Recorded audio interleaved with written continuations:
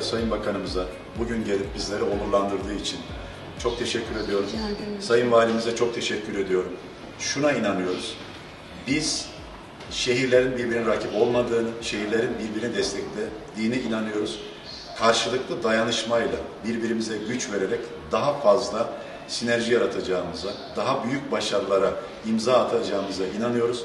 Bu manada da Antep'in ve Kahramanmaraş'ın kaderinin bir olduğunu, birlik ve beraberlik içerisinde de çok büyük işlere imza atacağımızı biliyoruz. Ben bu manada da Sayın Bakanımıza yürekten teşekkür ediyorum. Tekrar hoş geldiniz. Çok teşekkür ederim. Şiirin ve edebiyatın başkentinde, e, Kahramanmaraş'ta e, olmaktan duyduğum mutluluğu ifade etmek istiyorum. Sayın Cumhurbaşkanımızın 94'te attığı tohumun bütün Anadolu'ya büyük bir bilgi ormanına, bir yerel kalkınma ormanına dönüşmesi konusunda yaptığı çalışmalara ben birebir şahidim. E, Ben Hayrettin Başkanım'dan çok şey öğrendim. E, Kendine çok teşekkür ediyorum. E, Burası çok önemli bir şehir.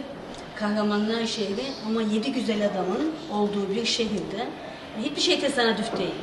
E, Büyük bir emek var, e, büyük bir beşeri sermaye var, büyük bir yetişmiş insan gücü var. E, Sayın Başkanımız da bunu sürdürülebilir kılmak için yaptığı çalışmaları anlattı. 2014 yılında ben Büyükşehir Belediye Başkanı olunca UNESCO'nun yaratıcı şehirler ağına gastronomide girdiğimizde Sayın Cumhurbaşkanımız e, yaptığı konuşmada demişti ki e, Şanlıurfa musikide, Kahramanmaraş edebiyatta e, bunu tamamlaması lazım. Bu yolculuk edebiyatta tamamlanıyor. Başkanıma ve bütün ekibine çok tebrik ediyorum, teşekkür ediyorum. Buyurun siz de buyurun.